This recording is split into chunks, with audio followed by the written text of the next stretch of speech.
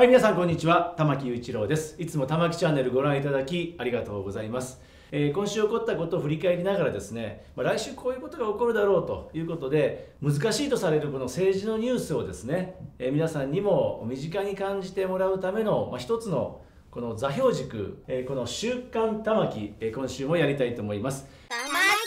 ンネルまず月曜日25日はですね、え皆さんにも非常に関係があるこの緊急事態宣言解除ということで、まあ、全国的に解除になりました。えーまあなんとかね今まで頑張って自粛をされた方もですねこれで少しまあ日常に戻れるかなと思っている方も多いと思いますがただ一方で北九州ではですね再び感染拡大の傾向が出てますのでまだまだ気を緩めることなくですね取り組んでいただければと思います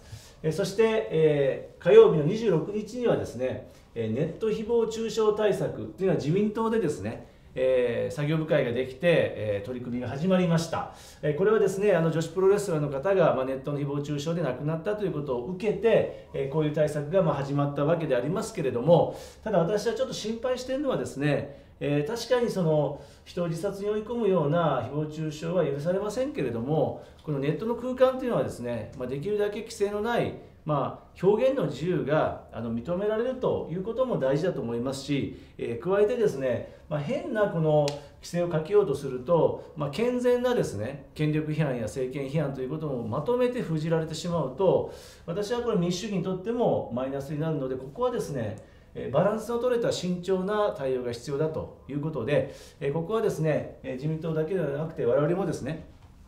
どういう対応が一番適切なのか、しっかり考え方をまとめていきたいと思います。さて、27日水曜日にはですね、えー政府が第二次補正予算を決定しました。えー117兆円の事業規模ということなんですが、これね、実は本当のいわゆる真水、真水っていうのはですね直接 GDP の向上とか皆さんの暮らしにですね役立つ予算なんですけどもこれはまあ全体の中のですね私10兆円ぐらいだと思いますこれはですね、えーまあ、再来週国会でもえーこの閣議決定した補正予算案についての国会審議が始まりますから、えーここでしっかりですねそういったものを正していきたいと思います。合わせて同じ日にですね国民民主党我が党もえ追加経済対策を発表しましたけれども、え私たちの119兆円。まあ事業規模は同じなんですけれども真水はですねたっぷり入れてます。99兆円が真水ですから、まあ、中身の濃い内容になってますから、まあ、こういったことを対比をしながら再来週の予算委員会ではまた質問もしていきたいなと思います。そして28日はですね今国会初めての憲法審査会が開かれました。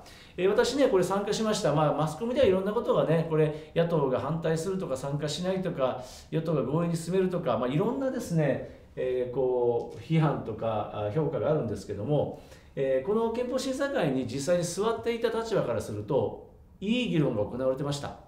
えーまあ、私も発言の機会をいただきましたけれども、えー他にもですねあの石破さんとかねなかなかあの当ててもらえなかった石破さん今なんか政権の中でいじめられてるらしいんですけどその石破茂さんとかねあとまああのこういわゆるこうリベラルの論客の辻元清美さんとか結構そのあの有名どころがみんな発言してなかなか盛り上がった憲法審査会だったと思います。またこれはね詳しくまた説明したいと思いますが私からはですねあのネット広告の在り方についてですね、えー問題提起させていただいて一定程度これ規制も必要なんじゃないのかという話をしました。ここはさらにですね深掘りして議論を深めていきたいと思います、えーそしてちょっと国際的な話を一つしますと、えー同じ28日にですね中国の全人代で、えー国家安全法ということが採択をされました。これね私非常に深刻な懸念を表明したいと思います。というのは香港に認められていたこの高度な自治というのがですね、まあ、一国二制度ということで、えーまあ、共産主義の国ではありながら香港はですね歴史的経緯からかなりいろんな自由が認められて表現の自由とか経済の自由とか認められることによってアジアの金融センターであるという、まあ、得意なですね、えー位置を与えられていたんですが、